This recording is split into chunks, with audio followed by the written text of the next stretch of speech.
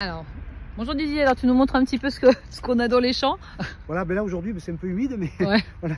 Là c'est un radis, radis type, euh, type japonais, il s'appelle le, le green meat. Ouais. Bon, il est, il est gros, mais c'est un, radis qui se. Voilà, il, il est vert à l'extérieur, et à l'intérieur il est vert aussi. Ok. Ça c'est très bon, ça se mange cru, c'est très croquant, c'est très. euh, Puis c'est très, très doux. Et c'est à quel goût? Attends. J'ai jamais goûté.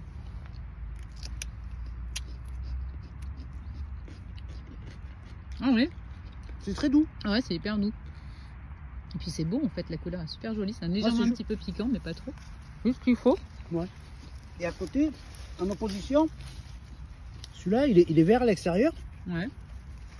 Ça c'est le red meat. Parce qu'à l'intérieur, C'est tout blanc. Ah non, il est rouge. Bah oui. Ah oui. bon, il est pas trop rouge celui-là. Mais justement, c'est ça qu'il faut dans, Ouais. les, dans les salades. C'est ça Ouais. qui donne euh, super beau. Ça, c'est le red meat. Alors, il faut, il se, mange. euh, Donc ça, celui-ci, il a combien euh, de jours? Celui-là, il a été semé fin, fin août. Fin août, fin septembre, fin octobre. Il a deux mois et demi. Ah, D'accord, ok.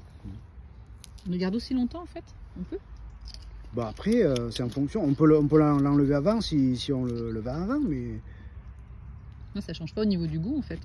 non, c'est la couleur. Mhm. Là, il est plus frais celui-ci. Il est un peu différent. Il est un peu différent.